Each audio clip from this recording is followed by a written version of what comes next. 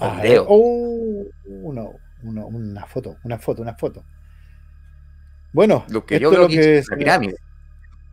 Claro, lo que se denomina en ufología un ovni triangular. Bueno, cabe destacar que esta imagen o esta serie de fotografías me fueron enviadas cuando yo colaboraba en el CFA. Eh, que para algunos que no lo conocen, el CFA, las siglas significan Comité de Estudio de Fenómenos Aéreos Anómalos, que es dependiente de la Dirección General Aeronáutica Civil de Chile. Bueno, y bueno, siempre se me envían estas fotografías y yo me daba el tiempo de poder revisarla, analizarla, obviamente, como le quieran llamar.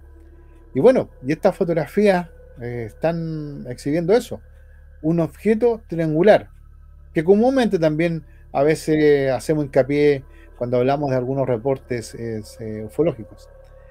Esto fue captado en Santiago el año 2009, desde el centro de Santiago, o si mal no recuerdo, cerca de Poquín, parece.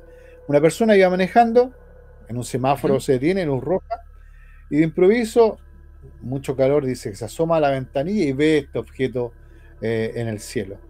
Afortunadamente, él andaba con su cámara, una buena cámara, y logra tomar una serie de fotografías que vamos a, ver a continuación. Y bueno, aquí ya estamos viendo unos detalles que entrega la fotografía, una especie de, de brillos, que son como cuatro, y este detalle dice mucho. ¿Por qué se preguntarán ustedes? Porque eh, ahí estamos hablando de pliegues. Pero tú dirías, ¿pero qué pliegues? ¿Cómo pliegues? ¿De qué? ¿De qué se trataría esto? Yo creo que la siguiente imagen eh, nos puede decir bastante. Yo no voy a decir nada. Yo creo que la, la imagen hable por sí sola y nuestros amigos vean qué es lo que pasó ese día. Una polilla gigante, dicen por ahí. ahí yo describo un anudado. Sí. Pliegues. Ahí estamos viendo nuevamente el objeto que le está dando la, luz del sol. No, todavía no lo puedo. Mira, sigamos adelante con la imagen. Un volantín, dicen por ahí. Mira, sigamos adelante con la otra imagen. La imagen de, contraste.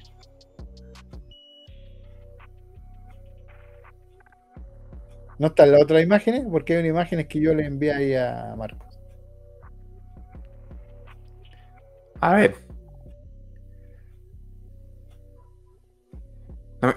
aquí están diciendo una bolsa.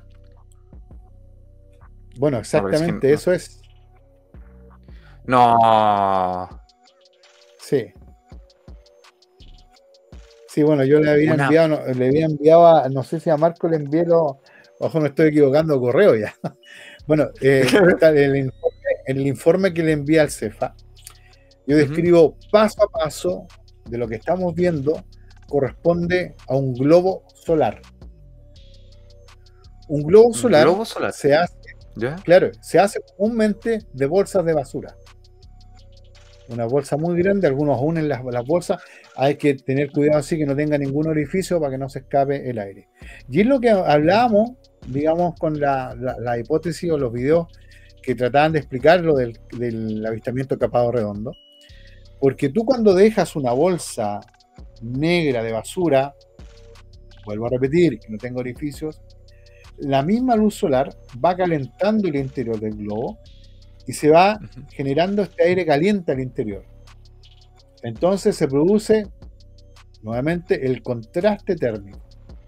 Y tú cuando dejas esta bolsa, digamos, al, sol, como digo, se empieza a inflar, inflar, inflar, inflar, hasta que toma las dimensiones que tú le des la puedes elevar sin ningún problema. Y, y, hay una imagen que dice todo, porque también ustedes dirán, pero la forma es curiosa. Sí, también hay, sí, también hay bolsas que la amarran de, las puntas y te genera este, esta forma triangular. Ahora que, lo dices, mm. tiene mucho sentido. Tiene mucho sentido ahora que lo dices, como lo explicas. Para mí me hace mucho sentido la forma de la bolsa. Me la imagino amarrada, me la imagino con inflada. Eh, es cuestión como de repente cuando uno eh, bota la bolsa del aseo, la negra, y cuando va a poner la otra la sacude, como, como cuando se infla, como ese aire que le tira ahí aquí, para poder abrir la bolsa nueva. Claro, se, y eso infla esta bolsa. Claro. claro. Y tú cuando anudas, se ven los pliegues. Y eso es lo que estamos viendo a continuación. Es un caso explicado que ah. le envié al, CEFA en su minuto, pero no los publicaron, lamentablemente, no sé qué pasaba ahí en ese momento. Oye, pero aquí, me hubiese gustado que hubiese publicado la página también. Nuestros amigos músicos aquí dicen una uñeta ovni. ah, una uñeta, una uñeta ovni.